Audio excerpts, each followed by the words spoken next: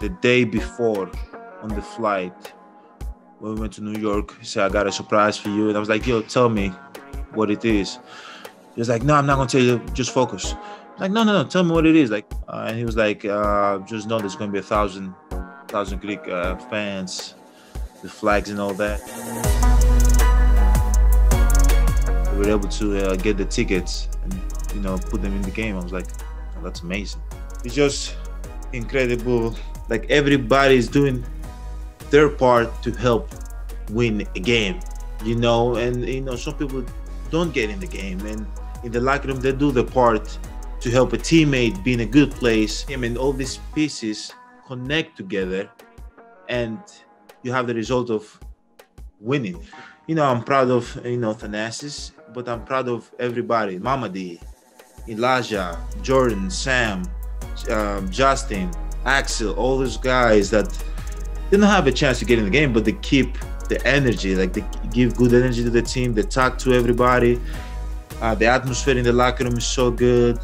You know, they just help the team any way that, that they can. And I just felt like that was a way to help the team. I'm happy that he did it, and I'm proud of that he did it. Sorry, it took me a little while to get here. Um, Giannis, for you, um, that was the most minutes you've played in any playoff series. Uh, that series against the Nets. Um, I'm not going to ask you how you're feeling because I know you're going to tell me that you feel good. Um, but f- for you, uh, I what did it mean for for Bud to trust you in that way? Like we haven't seen him use you in like the same way that Jason used to use you in the playoffs. Like during these three years, this is like the first time I can really remember going all the way in. I'm playing you that much. Feels good. Um, you know, prepare my body all year long for you know moments like that. Being able to uh, play 40 minutes, you know, 42, 45, 48, whatever the case might be, 53. Uh, but yeah, you know, uh, and he knows he knows the way I am. If I get tired, I'm, I'm gonna let him know.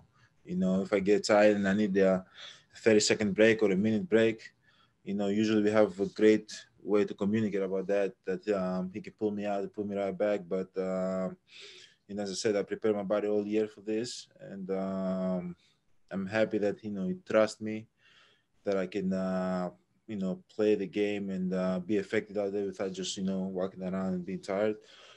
Uh, but as I said, you know, whenever I get tired or I get out of breath, uh, and I've you know run up and down ten times or whatever the case might be, he he understands you know, and he sees it in my face when, you know, he knows when to take me out for a minute or two and put me back in. How much more control do you feel like that gives you over the game? Like, can you actually feel that, like getting to play eight more minutes or whatever it is? Like, can you feel being able to control the game a little bit more? No, I feel I feel the same.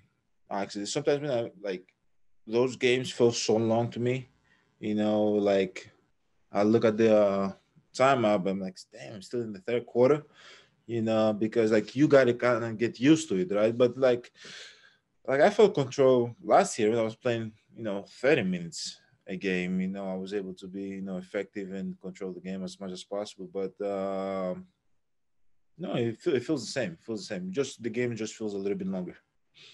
Uh, PJ during the series against the Nets said the thing that like makes him the most upset defensively is when guys help and then you guys give up assists. Like so he was like that third quarter in game five, you guys give up five assists to Durant. And he was like, at that point, Durant's getting his, and then the whole team is getting theirs as well. Um, for you, how do you try help defense is so much a part of what you do as a defender? How do you try to find that balance of, you know, trusting your guy one on one, not helping too much, and like staying home? Because it feels like something that'll be important again uh, this series with Trae Young. I, I got everybody got to do. You know, everybody got to do the job. It doesn't matter. At the end of the day, it doesn't matter if you're upset or not. You know, um, just got to do your job. And if your job is to uh, help uh, help a little bit and then recover, that's what you got to do. And then you got to live with the outcome. Um, for me, you know, I've I've you know tried to be active uh, all season long in uh, in the playoffs. So I'm just gonna do my job. You know, at the end of the day, if uh, when uh, PJ whatever the case might be, whoever guards Trae Young or Bogi or whoever has the ball, you know, get a little bit upset or, of me over helping, you know that that's gonna be you know that's gonna be the case. But at the end of the day, I got to do my job. I got to do what coach told me to do, and um, because we got to make it as tough as possible for them. But I understand what he means that uh, when KD scores, he scores, and then when he's he's not in a position to score and he passes the ball, he gets his teammates involved in the game. So that kind of pisses you off because he gets the best of both worlds. So I understand that, uh, um, but at the end of the day, we still got to do our job. And then for you offensively, um, do you feel like I was talking to Bud about a little bit? It feels like you improve as the series goes on, and I know your mindset is like improve day by day, always get better. But in a playoff series, just how important do you feel like it is to figure out, you know, something in game one that you can take to game two, and then also figure something out in game two that you can take to three and four and five and six and seven to like build as the series goes on? Very important. You know, that's you know that's what the team that wins does. You know, um, adjust from game one to game two to game three, figure out ways to get better. Um, that's what I try to do. Also, you know, I we're going to game one. We don't we don't know what to expect. You know, you, you don't know how they're gonna guard you. You don't know what the game plan is. They don't know our game plan. So after game one, you know, you get ready for game two. Now you know a little bit better what you to expect. And then um, to game three a little bit better. You know, it goes goes like that. So yeah, my mindset always has been get better each day, get get better each game, and um, that's what we're going to try to do as a team. Malika Andrews. Hey, Giannis, I, I have two for you. First, I'm just wondering, uh, three years ago, I think we talked quite a bit about a team that had so much fight, had so much talent, but didn't have the experience. And you all were talking about how you didn't want it to matter. I'm wondering three years later if you reflect on having been there before, having that experience mattering any more than it did to you then. Um, obviously, it's going to help us a little bit that we've been here before. Um, but at the end of the day, we're still playing basketball, you know, and um, like the previous series, we were going against KD, James Harden. They've been champions, been there before, and uh, we were able to advance. You know, so you never know how it's gonna end up. You know, working out. So uh, at the end of the day, uh, I said it in the past, like I tried not as much to focus in the past and what happened. I learned from it and I just move on. Uh, this is a totally different um, series, different scenario, different players, different time um, and it's it's it's going to be hard. Like it's not going to be easy at all. Like they play great, they move the ball, they get a lot of uh, threes. And it doesn't really matter if you have experience. Like they're playing good basketball, you know. So it's gonna be hard. We got to do our job, uh, enjoy the game, and uh, hopefully, you know, we've learned from our past, and um, we're in a position right now to put ourselves in a position to win the game. And then, secondly, for me, Giannis, I know you have a deep appreciation for players who have kind of been through it, have been through the losses, have put in the work, and that has been Trae Young's path. I'm wondering what uh, impresses you most or stands out to you most about him. Well, he, he's an amazing player, man. Um, you know what he can do for his size, the way he can get down the lane, and you know get everybody involved, look for his shot, create for his own self. It's it's unbelievable it's unbelievable. And I think this is second year, third year in the league. Yeah, like what he's done is, you know, three year span. It's unbelievable. Like so he got to, you know, keep, you know, getting better, keep believing in himself, and uh, the sky's the limit for him. He's gonna be, he's gonna be a great player for a lot of years to come in this league. Thank you, Jim Owczarski. Yes. Uh, well, speaking of Trae, I, I think he missed two of the games this year, so I don't know if that one game can draw on or, or last year. But I'm curious your vantage point when he um, when he lifts that floater, but sometimes he kind of disguises it as a lob to someone. I'm just wondering from your point of view, is it hard to tell which which is which? Like if it's an actual shot attempt for him, or if he's actually lobbing it, and maybe what how like difficult is that to maybe try to fool a, de- a defender or help defender? Yeah, it's it, it's hard you know, especially when you're coming down the lane and you're looking looking at the uh, the lob guy and you're throwing like if you're playing with it, it's hard. Like you're having the defense, you're making them guess every single time, right? But at the end of the day, we got to do our our game plan. What's our game plan? You know, um, are we going to jump for the floater? Are we going to let him shoot the floater 25 times? You know, are we not going to let him get to the floater? You know, like at the end of the day, we have to focus on ourselves and what we can control. Like at the end of the day, if he comes down, he plays with the floater and he looks at it, he looks away or he looks at the rim or whatever the case might be. Obviously, it's going to be tough. You know, he's going, but we have to focus on ourselves. We got to focus on what we're gonna do, how we're gonna help from behind for for the lob, so the lob is not there, so or he's gonna get on the floor. Um, but to answer your question, yeah, it's definitely keeps you guessing for sure. I, I know at this stage there is no, I, you're not overlooking anyone or or would would would think otherwise. But I, when you watch them and the way that they've won on the road, They've had big comebacks.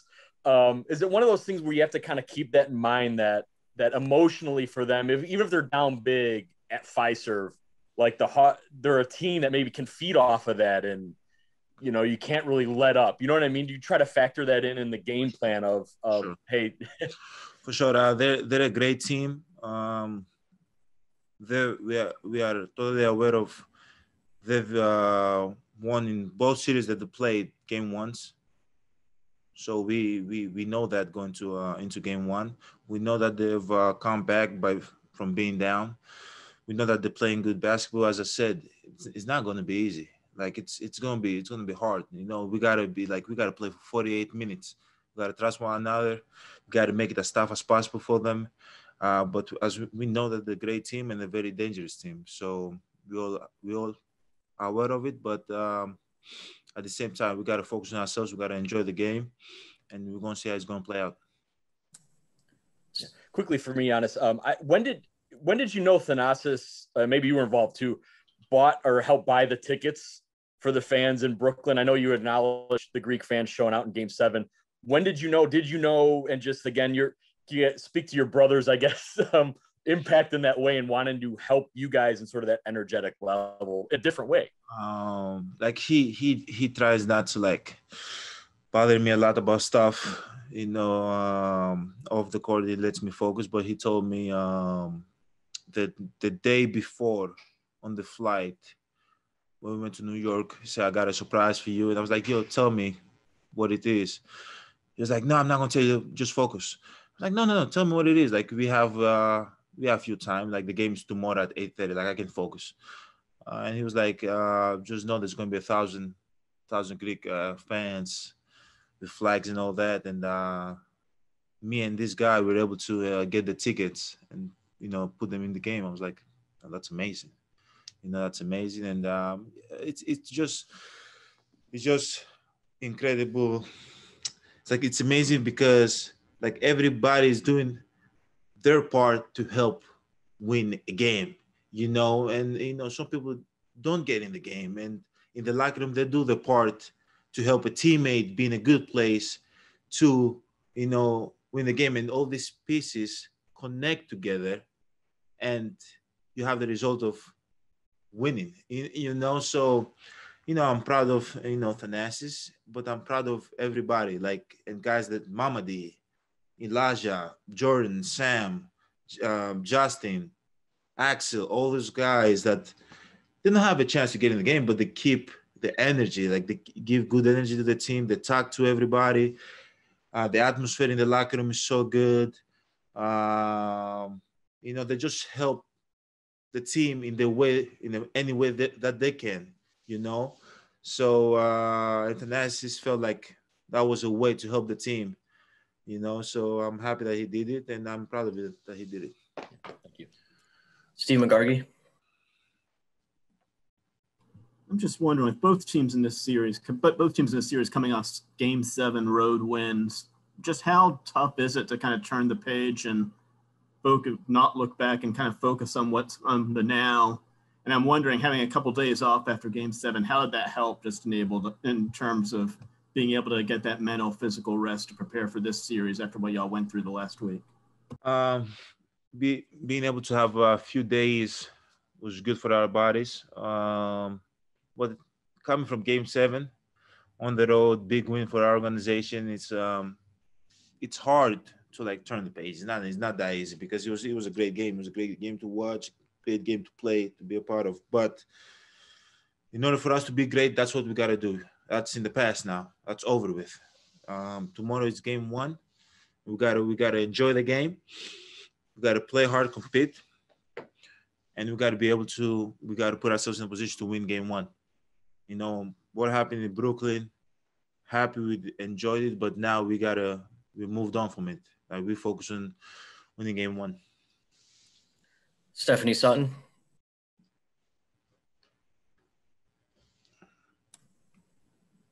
All right, let's go to Chancellor Johnson. Yeah, yeah. Oh, go ahead, Stephanie. Go ahead. I just want to know: Do you feel the state of Wisconsin and the city of Milwaukee behind you and the Bucks as you head into the Eastern Conference Finals, and how hungry this state is to have you guys go back to the NBA Finals for the first time since 1974? Um, no, I de- we definitely feel the love um, from the fans and um, the support. Like, you know, they came to the airport before we went to Brooklyn. They, they showed up in the airport after we came back. Um, so it was amazing having guys, uh, having people outside the Fiserv Forum, you know, uh, the plaza watching the game and um, supporting us from uh, here. Or when we go to the arena and the, it's, you know, the atmosphere is amazing. But at the end of the day, um, obviously I know that they're excited to you know about basketball and uh, about us doing well, but at the end of the day, we gotta we gotta focus on ourselves. We gotta focus and do our job. Like we cannot focus on outside what's going on the outside. We gotta focus on what's going on in the team. How can we be uh, locked team to win game one and how can we be us? You know, how can we play good basketball? How can we have great habits. You know, um, obviously everybody's excited, but I feel like you cannot think about that. You know, because it just adds just adds pressure. So uh, we got to focus on what we do and uh, what we've been doing since day one. Um, as I said, keep playing good basketball, and everything gonna take care of itself. Now, if you're gonna go to the NBA Finals, I don't know. I can't predict the future. I wish I, I could, but uh, all I know is that we're gonna be able to compete compete against any team we play. Giannis, can I also ask you, what are your thoughts on the recent video singer Sheryl Crow posted about her and her son being big fans of yours and your thoughts on a celebrity like that wanting to see you guys win and play? I'm not on social media. I didn't see the video, but uh, I'll probably see it later. You guys will show me. Yeah. All right, one more to Chancellor Johnson. Hey, Giannis, um, you guys have had a lot of success at home. Uh, you know, this postseason. Um, with the energy in the arena, how have you guys been able to feed off of that? Great energy. Uh, it feels amazing just to uh, just have all the fans back, um, packed stadium. Our families there to enjoy the game. It just feels like we're back to normal again, and uh, just be able to compete in front of our crowd. It's a great feeling. All right, thanks, Giannis. Appreciate it. Oh, Baba.